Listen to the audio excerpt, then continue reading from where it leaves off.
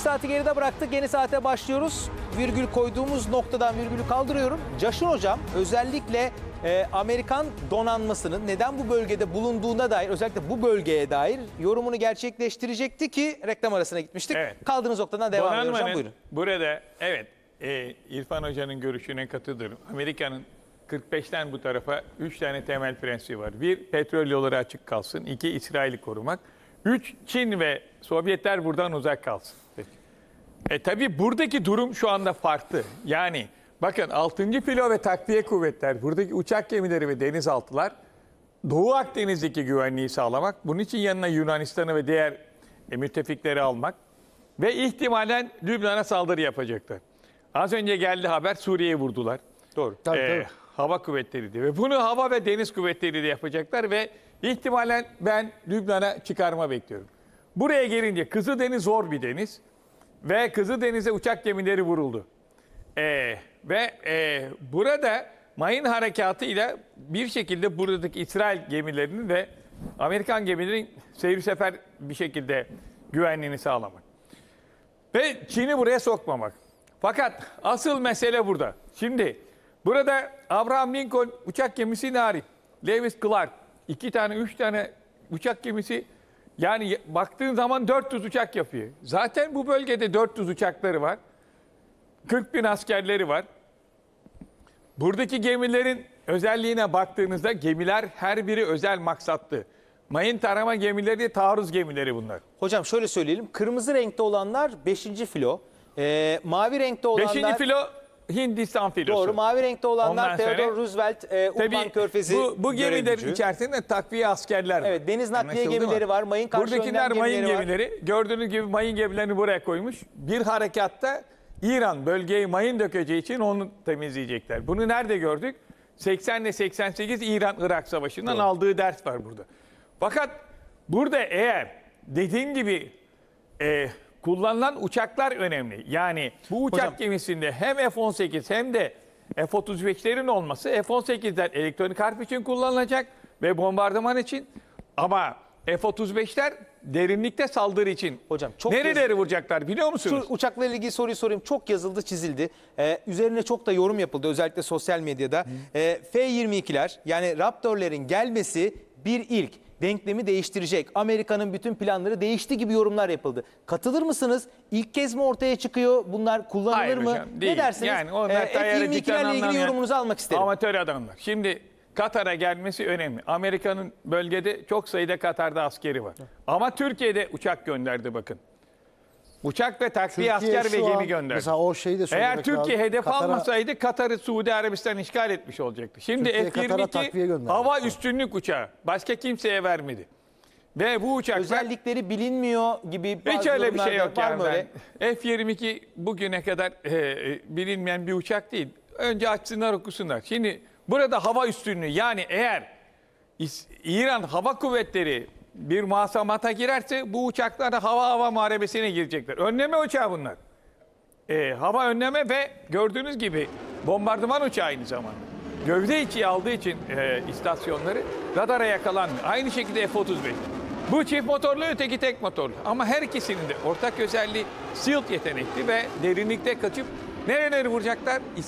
Netanyahu'nun gece gündüz söylediği İran'ın elindeki çok önemli nükleer santralları ve araştırma merkezlerini vuracaklar.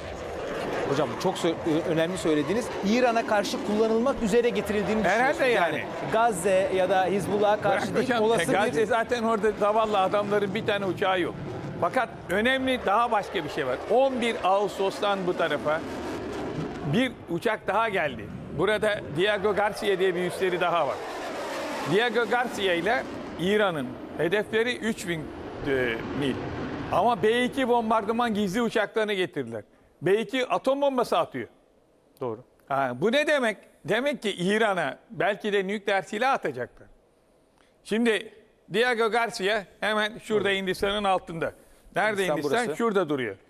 Buradan İran'ı vurmak için e, bu uçaklar geldi. Demek ki yani şu da var. 30 senedir benim bildiğim kadarıyla Amerikan Hava Kuvvetleri ve İsrail Hava Kuvvetleri İran'a bir deniz hava harekatının tatbikatlarını yapıyorlar.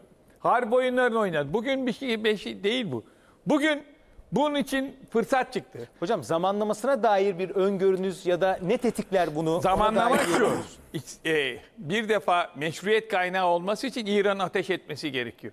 Birinde evet haklıydı. E, kendi ülkesine yapılan bir saldırı gibi Suriye'deki e, elçilik mensupları vuruldu. Viyana Sözleşmesi'ne göre kendi ülkesine yapılmış bir saldırı. İkincisi ise kendi ülkesinde İsmail Haniye öldürüldü. Her ne kadar İsrail ben bunu yapmadım dese ben bugün çıkacak yarın 30 sene sonra bunu uçakla vurdular. Ve içeriden hainler hedefi verdiler, vurdular, Burada adamı hocayla öldürdüler. ayrıldığımız nokta bu işte. Efendim? Hocayla, yorumunuz ne hocamla burada? ayrıldığımız nokta ben uçakla vurulduğunu düşünmüyorum. Ya şimdi bu bunlar sonra çıkacak ortaya. Bazı şeyler 30 sene sonra çıkar. Şimdi öyle ya da böyle İsmail Hani öldürüldü? Böylece ne oldu? Bugün konuştuğumuz e, ateşkes meselesi kimse konuşmuyor. Rafa- Herkes neyi konuşuyor? İran ateş etsin, İran'ı dümdüz edelim. Niçin? İran'da atom bombası var. Ulan İsrail NPT anlaşmasını imzalamamış. Elinde 120'ye yakın e, nükleer silah var. Diyor ki Gazze'ye atom bombası atarım. Ondan sonra çıkıyor bazı bakanları kendini bilmez şekilde Türk askerinin ne olduğunu bilmiyor. Türkiye'yi tehdit ediyor. Bu adamlar kontrolsüz bir adam. Bugün çocukları öldüren, yarın atom bombası atmayacağını kim söyleyebilir? Yani İran'da bir egemen devlet, bir defa her egemen devletin nükleer e, enerjiyi kullanma hakkı var. Yok sen atom bombası yaparsın diye İran'ı vurmak istiyor. Kim? Netanyahu 30 senedir. Her gün eline bir şey alıyor. Ulan İran 5 dakika sonra bomba yapacak. E senin elindeki bombaları kim vuracak? Kabak. Ha demek ki burada asimetrik bir şekilde korkutma var. Korkutma. İran seni mahvederiz. Taş üstüne taş koymayız. Zaten sorunların var. Basra Körfezi'ni mahvederiz. Ha İran buna karşı ne yapar? Tam onu soracaktım. Ee, tüm kamuoyunun ya da uluslararası kamuoyunun İran'dan bir beklentisi var. Bu kısa vadede gerçeği dönüşür mü yoksa e, sizin bakış açınızda İran bu oyuna gelmeyip bir misilleme yapmazsa Kıymetli hocamla bunları değerlendirdim. İran devlet geleneği olan bir devlet. misilleme yapar mı? Ha, misilleme yapacak. Bu onun Birleşmiş Milletler'deki hakkı. Zaten hukuken bunu Birleşmiş Milletler'de söyledi misilleme hakkı. Tabii. Misilleme hakkı hukuken vardır. Yazılı ve yazılı olmayan hukukta devletlerin hakkıdır. Fakat bunu orantılı olarak yapması. Yani mesela ben derslerde talebelerime anlatıyorum. İşte iki tane çocuk bizim e, Kilizman'daki mandalin bahçesinden iki tane mandalin e, hukuka aykırı olarak alırlarsa işte e, mandalin sahibi teyze de oğluna söylerse onları makinalı tüfeklerle öldürürlerse çocukları bu asimetrik aşırı kuvvet kullanmadır. Şimdi İran'da gerçekten de elinde atom bombası varsa Ahmet Necat'ın dediği gibi 30 tane Tel Aviv'e atarsa bu asimetrik bir savaş olur ve Amerika bundan korkuyor. Acaba bu yer altındaki füzelerin nükleer başlığı var mı yok mu? Henüz bilinmiyor. Ama İran böyle bir saldırıyı bildiği için önce bir şekilde eski şeytan dediği Hümeyni'ye göre Rusya'dan elektronik harp sistemleri aldı. En zayıf noktası uçakları eski, uçak istiyor. Henüz bir e, anlaşmaya varmadılar. Ama iki tane devlet, Çin seni destekliyoruz dedi. Ve Çin önemli bir şey daha söyledi. Derhal Filistin'de ateşkes istiyoruz dedi. Ve iki ayrı devlet. Bakın Çin top, topa giriyor ve Umman Denizi'nde gemileri var. Hocam o başlığı şöyle açacağım. Biden'ın nükleerle ilgili. Rusya'nın yanına Çin geleceğiz. ve Kuzey Kore'yi şey söyle- Ama şunu Ee, söyleyeyim netice Bozkurt- itibariyle. İran'ı bir şekilde sıkıştırıyorlar. İran ateş edebilir ama bu nasıl olacak onu önümüzdeki günlerde göreceğiz. Peki. Bu bakımdan bu gemilerin yani 5. filonun burada e, olması, e, Katar'a F-22'lerin gelmesi, F-35'lerle uçak gemilerinin burada olması ve burada nükleer denizaltılar da var. Ve bu denizaltılar Tomahawk füzesi atabilir. Nerede gördük bu tatbikatı? Bu olayı 1991 Körfez Savaşı'nda, Doğru. Afganistan Savaşı'nda ve 2003'te gördük. Yani Amerika 91'den sonra yerleştiği Arap Yarımadası'nı şu anda Müslümanları baskılamak için kullanıyor ve bunu zorlayıcı, coercive diplomasi dediğimiz zorlayıcı diplomasiyle silah gücüyle yapıyor. Ve e, eğer benle beraber olmazsanız ne dedi Trump'a? Trump iki günde sizi deviririm dedi. Suudi Arabistan kralını deviririm dedi. E şimdi Ve bunları ikna da etti. Neyle? Önce Trump anlaşması dediğimiz, bu çok önemli bakın. İkisi arasında bir fark var. İbrahim anlaşmaları şu anda İbrahim ittifakına dönüşmüştür. Ve bunu deklar eden Netanyahu, nerede Amerikan senatosunda söyledi. Ey Müslümanlar gözünüzü açın, gözünüzü oyacaklar, kafanızı kesecekler. Ya birlik olursunuz ya yok olursunuz. Bunu söyledi Sayın Dışişleri Bakanımız. Peki. Beraber olun dedi. Ama bir korku var. Bir bilinmedik ölü toprağı var Müslüman devletlerin içerisinde. Bir tek dik duran Türkiye Cumhuriyeti Devleti. Orada da diplomasiyi kullanıyoruz.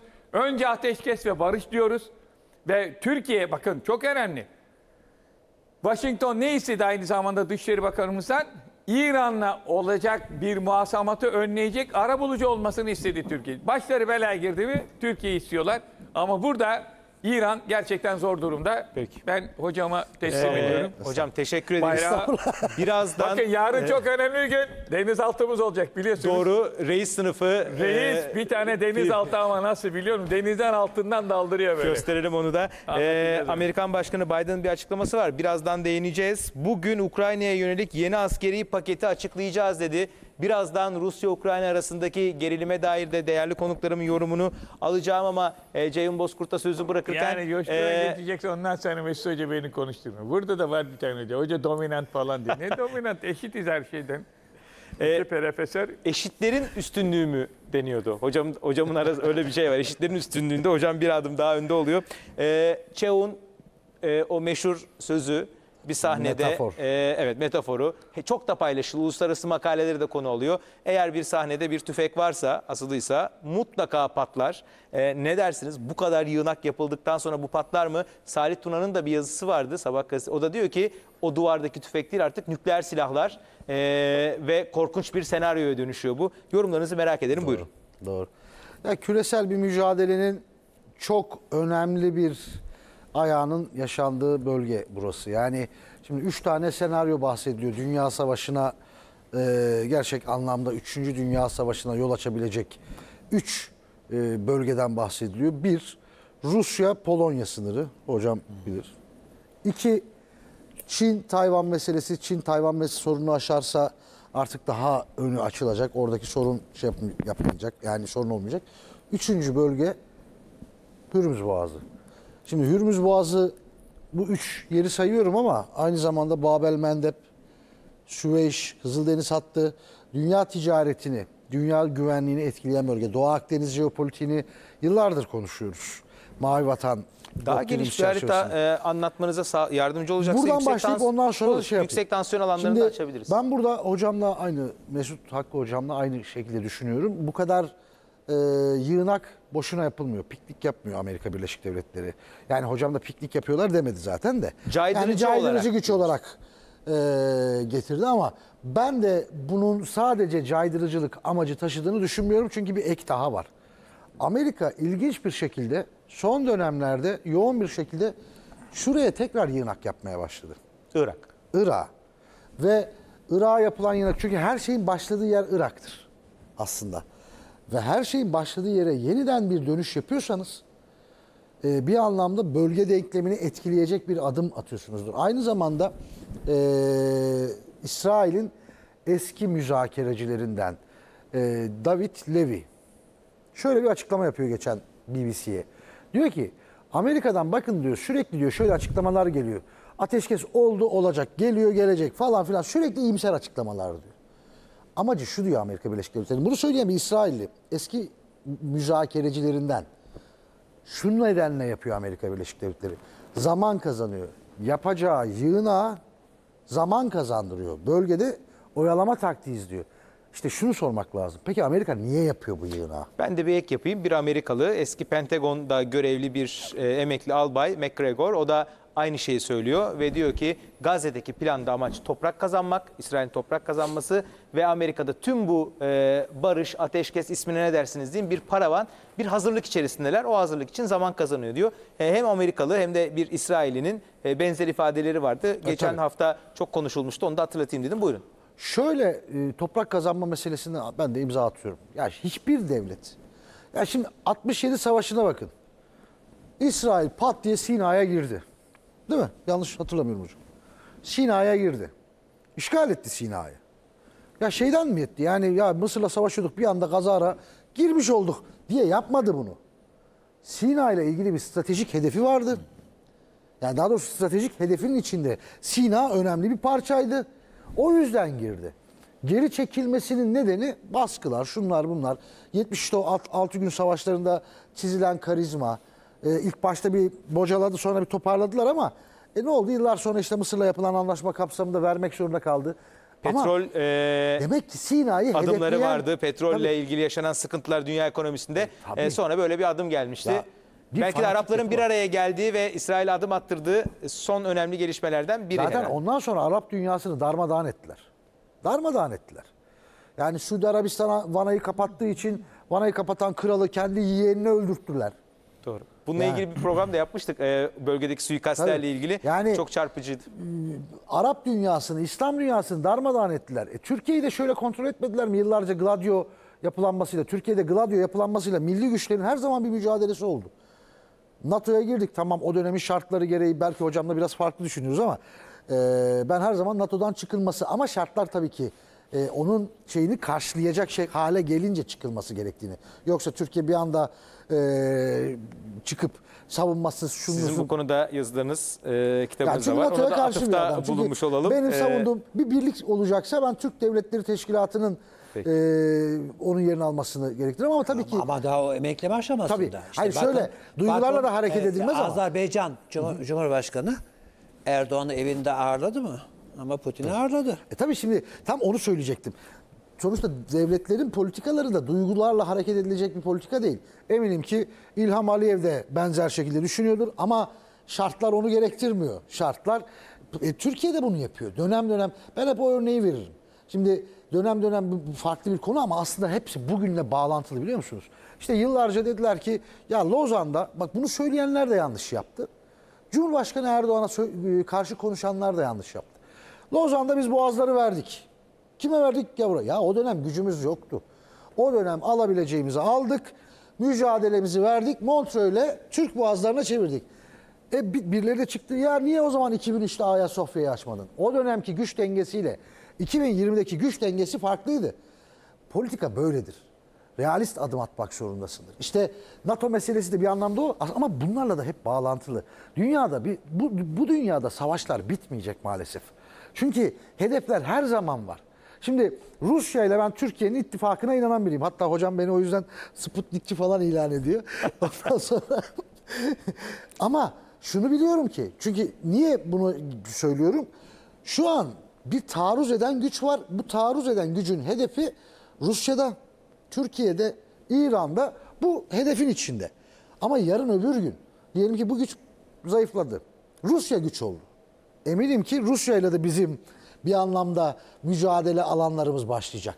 Niye? Çünkü küresel emperyalistler her zaman e, Gücü yani- eline evet. alan çünkü bu sefer Sömürge ilerlemeye başlıyor. Ama bugünkü jeopolitikte, bugünkü şeyde Türkiye ile Rusya'nın bu kuşatmaya karşı ortak hareket E, etmesi. Küresel yüksek tansiyon alanlarını da açalım. E, daha geniş perspektifte Olur, olur, eminim olur. değerlendirmeniz için. Oradan da Olur. yavaş yavaş Rusya'ya geçeceğim. Siz de belirttiniz aslında o noktaları. E, Ukrayna, Rusya, e, Hürmüz Boğazı ve biraz daha uzakta çok konuştuğumuz aslında bir dönemde e, bir adım gelir mi diye karşılıklı olarak yapılan Tayvan. açıklamalarla Tayvan krizi vardı. Üç nokta. Şuradan o zaman Buyurun. şey yapayım. Şimdi dediğim gibi şimdi Hürmüz Boğazı son derece stratejik bir nokta. Amerika burayı bir şekilde çünkü e, senaryolarda şu var. E, Üçüncü Dünya Savaşı'nda hatta geçenlerde şey yazdı bunu. E, Churchill'in torunu yazdı. Ondan sonra e, üç tane kritik nokta işte Dünya Savaşı o zaman çıkar diyor. Bir, Rusya Polonya'ya saldırırsa.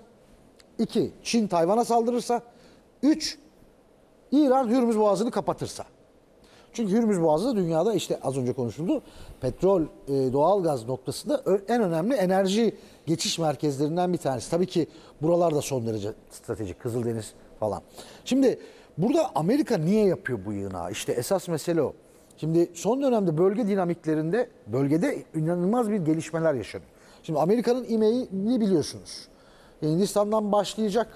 İşte e, Suudi Arabistan, Ürdün üzerinden İsrail'den çıkış yapacak. Hemen sonrasında zaten Gazze'deki soykırım patlakları. Aksa Tufan operasyonu sonra soykırım başladı. E, buradan çıkış yapacak. E şimdi Türkiye ile Irak bir anlaşma yaptı. Buna Birleşik Arap Emirlikleri ile Katar da destek verdi. Kalkınma yolu projesi bu kapsamda bu aynı zamanda küresel ticareti e, önemli şekilde etkileyecek Doğru. bir proje. E Çin'in kuşak ve yol projesi var. Mesela bir kere bir kere baktığımızda 3 tane kritik ticaret koridorunu konuştuğumuz bir dönemden ge- geçiyor. Tam böyle bir dönemden Çünkü geçiyor. Kuzey Koridor'un iflas ettiği, artık çalışmadığı bir dönemde e, orta kuşak ya da güney Aynen kuşakta öyle. nasıl bir adım atılacak? Nasıl Bunun şekillenilmesi atılacak? gerekiyor. Bu şekilleniyor. Ee, şimdi Türkiye ile Irak bu şeyi yapıyor. Mesela geçenlerde bir haber okudum. Amerika Birleşik Devletleri aralarında yani ailelerin de olduğu toplam 8 bin kişiyi, DAEŞ'li militanların ve ailelerin olduğu 8 bin kişiyi Irak'a geri göndermek istiyor. El holdan alıp. Ve Iraklılar Ambar vilayeti yetkilileri diyor ki siz bunları getirirseniz diyor. Sadece burada karışıklık olmaz. Irak'ın bütününe tekrardan karışıklık sirayet eder. Amerika niye burada tekrardan karışıklık istiyor? Şimdi şöyle haberler var. Katılıyorum. Amerika işte e, PKK e, bitti artık. PKK'sız bir döneme hazırlanın. Çünkü bitiyor. PKK terör örgütü bitiyor. Şimdi birileri çıkıp şunu söyleyebilir. Ya Amerika onay verdiği için PKK bitiriliyor. Hayır Amerika hiçbir zaman kendi aparatının bitirilmesine onay vermez. Ama Amerika az önce söylediğimiz gibi Süreç realist bir devlet kendi e, yenileceği mücadeleye girmez. 2017'de de perde arkasından e, gayrimeşru referandumu destekledi. Baktı ki gücü yetmiyor burada engelleyemiyor. Türkiye'nin, İran'ın, Irak'ın baskısını engelleyemedi, perdeleyemedi.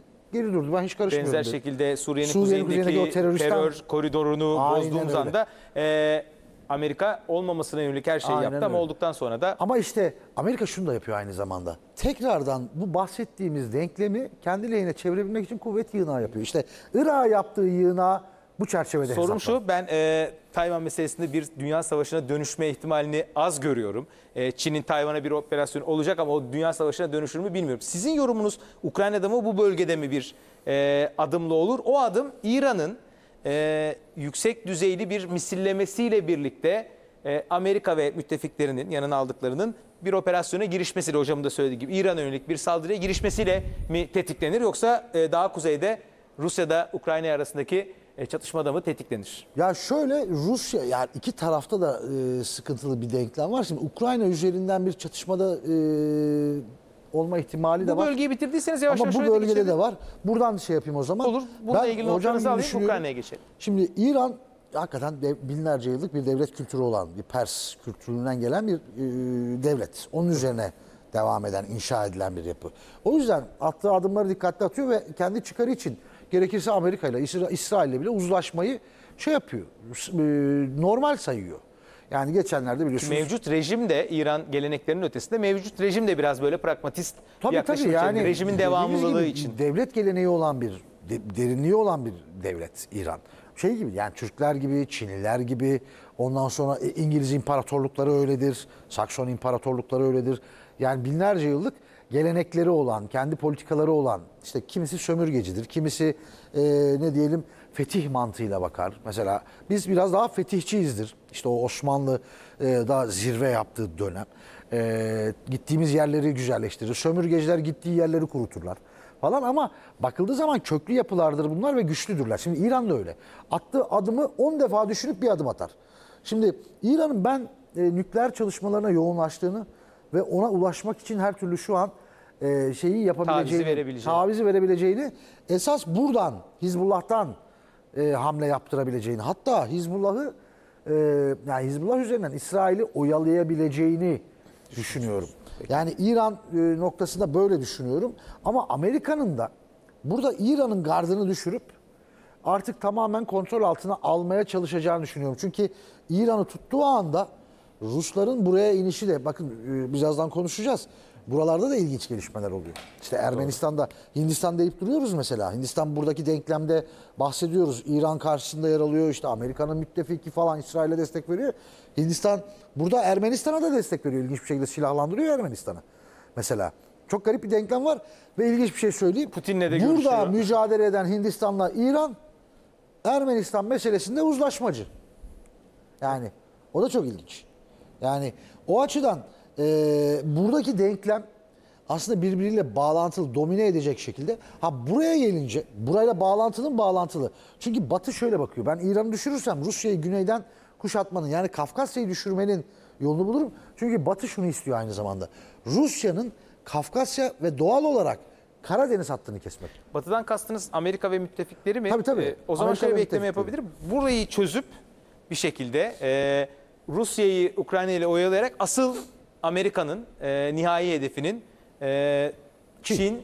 ve Çin'in durdurulması olduğunu bunu nereden anladık? Biden'la ilgili açıklamadan Biden bir anda durup dururken Rusya'nın yanına Kuzey Kore ve Çin'i de ekledi. Çalışın bir nükleer savaş için ifadelerinde kullandı. Sonuçta iş dönüp dolaşıp e, Atlantik'ten Pasifik'e doğru İran kayacak nükleer gibi. silahı olsaydı onu da eklerdi. No. Çünkü Batı şöyle bakıyor. Amerika Birleşik Devletleri liderliğindeki yapı e, vurguluyorum hep.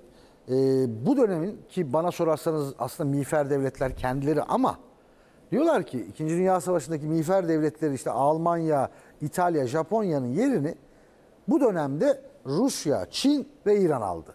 Bu dönemin miğfer devletleri bunlar diye tanımlıyor. Bana benim görüşümse tam Ters. tersi. Ee, Amerika ve müttefikleri aslında o dönemin faşizmini temsil ediyorlar. Çünkü bugün İsrail'de yaşanan soykırımın tarafı soykırım yapanların yanında duranlar Amerika ve müttefikleri. Amerika ve müttefikleri. Yani o yüzden aslında e, faşizmi onlar temsil ediyor. Ama böyle bir tanım yapıyorlar ve burada Rusya'ya da yüklenecekler. Orada bir denklem değişikliği var. Ee, yavaş Kursk yavaş İrfan meselesi. hocamı da e, yanıma alacağım. Sizin yorumlarınızı merak ederim. Ukrayna'nın özellikle Kursk bölgesine doğru bir ilerleyişi yani bugüne kadar hep savunmada kalan Ukrayna'nın bir ilerleyişi Evet, e, o denklemi nasıl değiştirebilir? E, Putin'in buna yanıtı ne olur? Ceyhun Bozkurt'un ifadelerine katılır mısınız? Oradan Bir cümle başlayacak. söyleyeyim. Olur. Hocama pas atayım. Daha yakın haritası Bugün da 23 vardı. değil mi? E, Kursk haritası. Bugün 23'ü değil mi? Doğru. Geçen sene 23 bugün Ağustos. Putin Kursk'ta Kursk muharebelerinin 80. yıl dönümünde konuşma yapıyordu. Geçen sene bugün. Doğru. Putin buradaydı. Kursk'a son derece önem veriyorlar. Çünkü 2. Dünya Savaşı'ndaki denklemi değiştiren yer muharebelerden bir tanesi. Kursk muharebeleri 2. Dünya Savaşı'nda. Şimdi yapılan aslında ha şu var. Özel olarak seçilmiş mi? Yok. Aslında bana sorarsanız çünkü zaten şu hatta girmesi kolay değil. Arada zaten Belgrad'a arada saldırılar yapıyordu Ukrayna. Ta en başından beri. Çıkış noktalarından bir tanesi bu. Yani Kursk'a ben özel olarak burayı seçtim. Burası çok stratejik bir şey var. Değil. Çıkış noktası. Ama Rusya'nın hakikaten Moskova'yı tedirgin edecek bir hamle. Niye? Donbas bölgesinin zaten buralar aslında hakimiyet vardı. Ee, Rusya'nın iki sene boyunca top e, alamadığı yani kontrol edemediği coğrafyada operasyon yaptı. Niye yaptı? İki cümle söyleyeyim onu da sus ondan sonra şey yapayım hocamın değerlendirmelerini dinleyeyim. Ee, gördüğüm şu bir kere demoralize olan şeyi kendi lehine çevirdi. Psikolojik bir hamle yaptı. Ukrayna. Çünkü Rusya bastırıyordu. Hakikaten bastırıyordu. Ciddi bir güçle bastırıyordu. İkincisi müzakerelerde elini güçlü tutmak istedi. Ha Rusya da şöyle bir hamle yaptı. Karşı hamle yaptı. Bu saatten sonra Kursk meselesi bitene kadar müzakere yok dedi. Medvedev en sert açıklamayı yaptı. Diğer yöneticilerden de onu gördük. Yani ben de bunun müzakerelere indirilmiş bir darbe olduğunu da düşünüyorum. Ee, ondan sonra e, ve şöyle bir şey yaptı. Dediğimiz gibi az önce müzakerelerle bağlantılı bu savaşın devamını sağladı. Bunu da bence Batı adına yaptı. Çünkü bu savaşın devamı Türkiye ısrarla ateşkes istiyor, barış istiyor. Türkiye gibi ülkeler var. Bu savaşın devamı Rusya'yı yıpratma ve e, Amerika'nın istediğinin devamı anlamına geliyor. Geçen sefer